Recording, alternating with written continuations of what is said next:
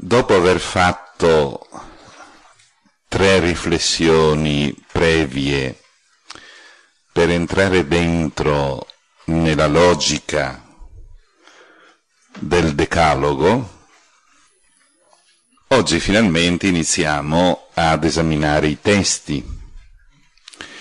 Quando eravamo ragazzini ci hanno fatto imparare i dieci comandamenti dicendoci che i primi tre erano per Dio e gli altri sette erano per il prossimo. Non è esattamente così, sono tutti per noi. Capiremo che anche esaminando questi comandamenti che vengono chiamati comandamenti per Dio, di per sé non sono per lui, ma sono per l'uomo, perché l'uomo abbia dei punti di riferimento di un certo tipo e sappia gestire dei rapporti anche con il trascendente in un certo modo. Altra piccola osservazione. Quando noi dialoghiamo con i nostri fratelli protestanti, dobbiamo sempre tenere presente che il numero è sempre 10, ma i numeri non corrispondono. E allora io vi ho fatto lo schemino in modo che non ci siano equivoci. I cattolici si sono ispirati a Deuteronomio 5 per cui noi abbiamo, linea 24, linea 25, la proibizione del desiderio della donna e la proibizione del desiderio delle cose. Mentre invece i nostri fratelli protestanti hanno solo il desiderio, punto e basta, che poi diventa desiderio della donna e delle cose tutti insieme, perché loro si sono ispirati a Esodo 20, C'è questa differenza in fondo, ma c'è anche un'altra differenza all'inizio. Alla linea 15 e alla linea 16 voi notate che i nostri fratelli protestanti hanno messo in evidenza la proibizione delle immagini, mentre ai cattolici non è interessato proprio questo, questa dimensione e cercheremo di capire anche il perché.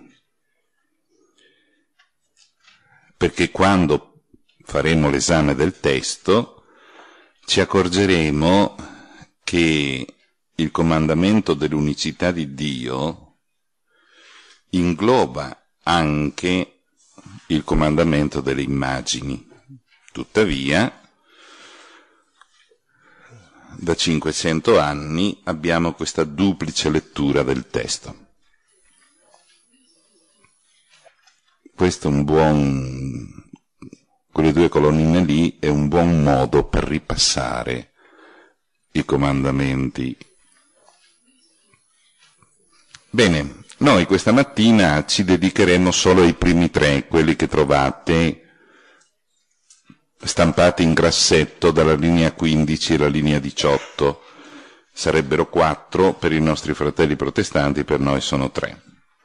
Il testo la traduzione la trovate immediatamente dopo. Perché trovate questa impostazione grafica? Perché tra Deuteronomio ed Esodo ci sono le identiche parole per quanto riguarda i primi due, mentre invece ci sono delle varianti per quanto riguarda invece il terzo. Io sono il Signore tuo Dio che ti ho fatto uscire dalla terra d'Egitto dalla condizione servile. Questa è la traduzione per i lettori italiani, perché se voi andate alla linea 37, lì trovate una traduzione leggermente brutta, ma perfettamente alla lettera con il testo ebraico. Il sono, se notate, è sbiadito perché in ebraico non esiste. Io, Yahweh, Dio di te, che ho fatto uscire te dalla terra d'Egitto, dalla casa dei servi. Capite che in italiano una cosa del genere non funziona. Perciò la traduzione rispetta la lingua di arrivo, ma tradisce la lingua di partenza.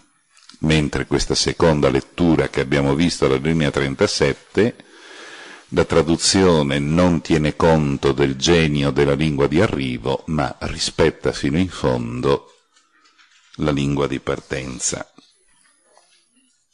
Siamo alla linea 26, lettera B. Non avrai altri dei di fronte a me. No, signor. Traduzione non è così, la vedremo dopo. L'ho fatta io, eh? L'ho fatta io. Però, ovviamente, altro è tener presente la lingua italiana, altro è tener presente il testo ebraico originale.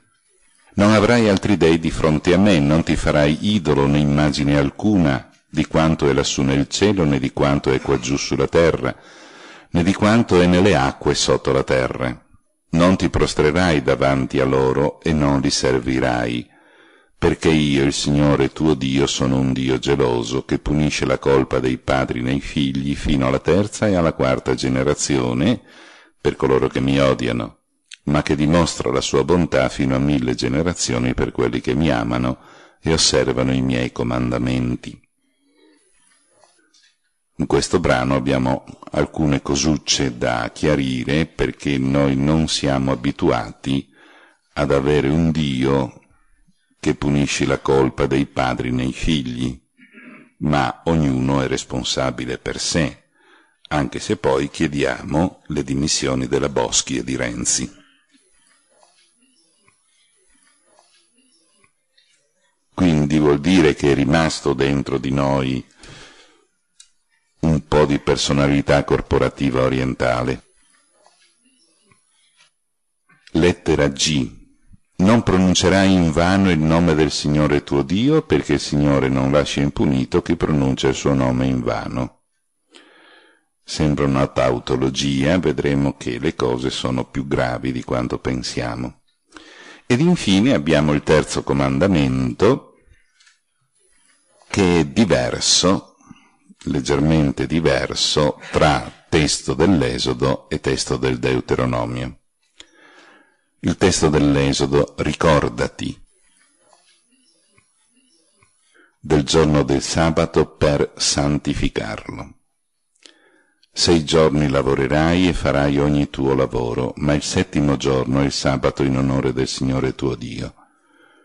Non farai alcun lavoro né tu, né tuo figlio, né tuo figlio, né tuo schiavo, né la tua schiava, né il tuo bestiame, né il forestiero che dimora presso di te. Perché in sei giorni il Signore ha fatto il cielo, la terra, il mare e quanto è in essi, ma si è riposato il settimo giorno. Perciò il Signore ha benedetto il giorno di sabato e lo ha consacrato. Tenete presente che la linea I e la linea Y sono due linee sposate, perché il verbo santificare della linea I e il verbo consacrare della linea Y è sempre in ebraico lo stesso verbo, e voi potete benissimo vederlo alla linea 85.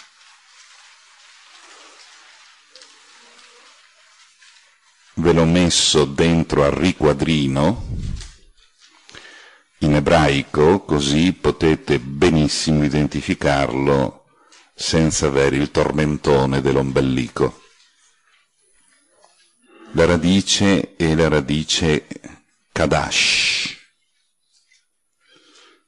Naturalmente qui avete il verbo coniugato in maniera diversa, ma il, la radice è sempre lei. Bene.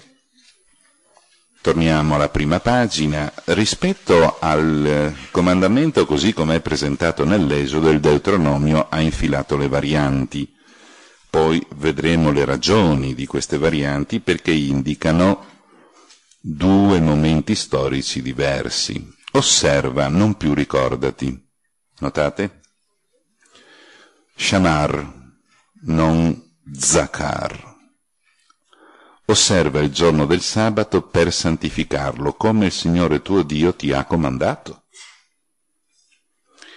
E infatti in Deuteronomio, voi potete tornare, mi dispiace di mandarvi su e giù, ma va bene così, all'ultima pagina, linea 98.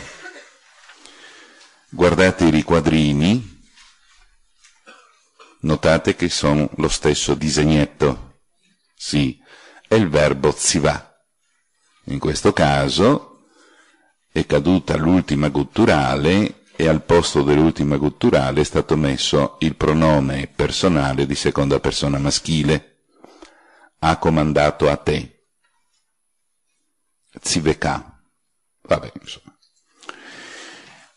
Dunque, voi avete una concezione già molto diversa tra il libro dell'Esodo e il Deuteronomio. Il libro dell'Esodo ha come elemento principale Kadosh, la santità, la santificazione, mentre l'elemento principale del Deuteronomio è il comando. Sei giorni lavorerai, farai ogni tuo lavoro, ma il settimo giorno è sabato in onore del Signore tuo Dio, non farai alcun lavoro né tu, né tuo figlio, né tuo figlio, né tuo schiavo, né la tua schiava e qui avete l'amplificazione. Nel tuo bue e nel tuo asino, nel tuo bestiame. Nel testo originale di Eso c'era solo il bestiame. Nel forestiero che dimora presso di te, perché c'è questa specificazione? Altro è parlare di un popolo nomade e seminomade, altro è parlare di un popolo sedentario. Deuteronomio parla di un popolo sedentario e quindi c'è il bestiame grosso. I nomadi hanno solo il bestiame minuto.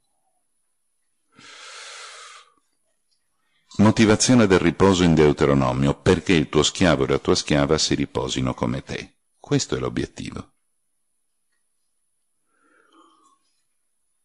Ricordati lo troviamo qui il verbo zakar, mentre in Esodo lo troviamo alla lettera I, versetto 8, ricordati del giorno di sabato.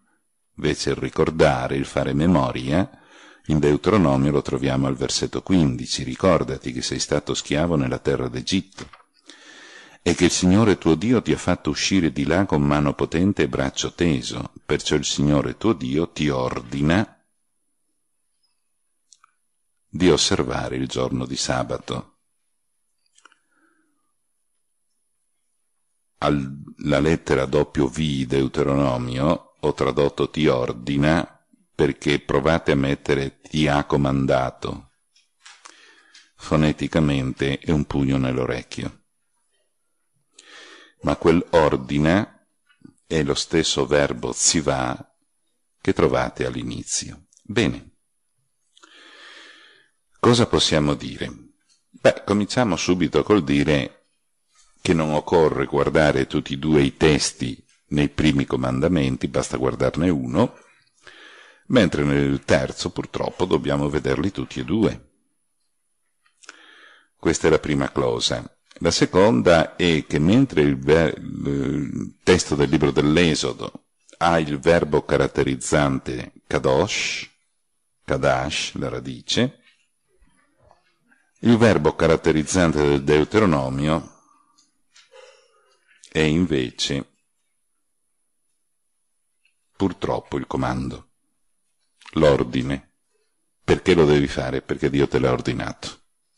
Non c'è dunque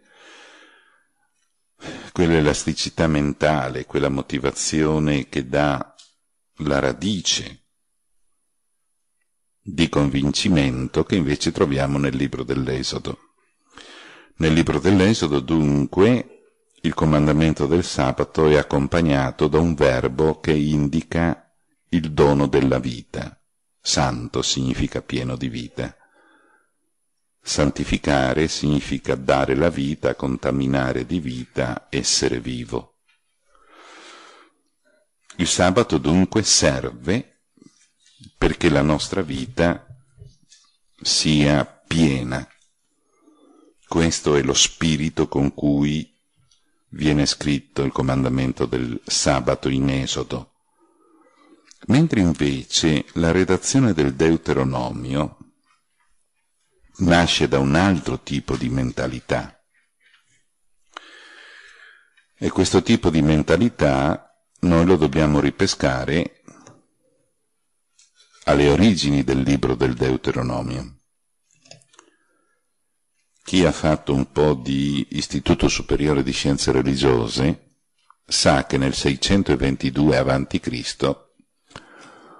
giovane re viene disturbato nella sua vita pacifica da due signori, Kelchia e Safan.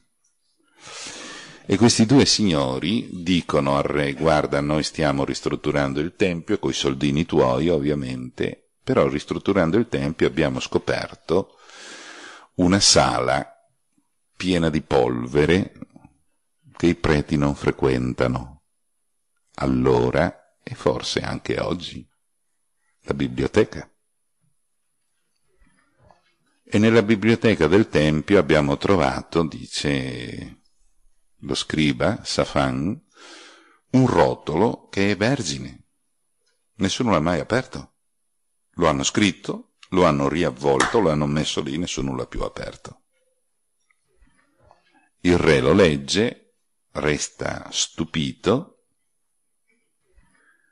manda i suoi messaggeri dalla profetessa Hulda, la quale dice guardate che questa è parola di Dio. Paura folle perché la vita che stava conducendo Israele in quel periodo non era certo il tipo di vita descritto in questo testo. Giosia prende il coraggio a due mani e compie una riforma religiosa radicale, purtroppo la compie con i metodi di allora, e cioè con una violenza inaudita. Questa riforma religiosa ha grondato sangue in tutte le sue pieghe.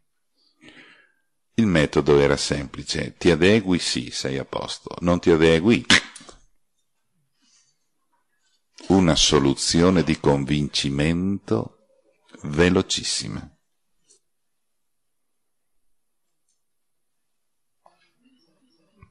Andiamo velocemente alla linea 37.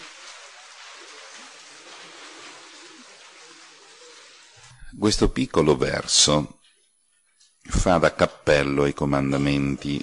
Normalmente un testo che viene totalmente tralasciato nel momento in cui noi facciamo, quando lo facciamo, l'esame di coscienza. Mentre invece sotto il profilo teologico questo versetto è la chiave di volta di tutti i comandamenti. Cerchiamo di capire che cosa sta sotto e andiamo per gradi in modo da non ingolfare il cervello. Il primo grado, quello della curiosità filologica immediata, sta proprio nel verbo essere che non c'è in ebraico. La prima parolina che voi trovate nella frase della lettera A, ricordarsi che l'ebraico si legge da destra verso sinistra, è Anochi, è l'io solenne. Perché se io dovessi parlare al posto di Dio dovrei dire Ani. Ani è l'io comune. Anochi lo dice il re, lo dice Dio, lo dice il profeta. Subito dopo avete il tetragramma sacro, però vocalizzato con le vocali del nome aramaico Shema in aramaico Shema non vuol dire ciò che potrebbe sembrare in italiano. Shema in aramaico vuol dire il nome. Il nome, non solo nome, il nome perché l'articolo è stato schiaffato dietro.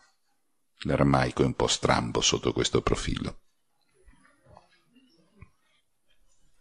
Hanno preso le vocali di questo nome, Shema, e hanno infilato le vocali sul tetragramma sacro e a una lettura ignorante verrebbe fuori Yevà. Se voi dite Yevà in una sinagoga, capiscono subito che voi di ebraico non sapete un bel niente e vi cacciano via. Allora, io, Yahweh, Dio di te, Eloeca. In ebraico non esiste l'aggettivo possessivo, esiste solo il pronome personale.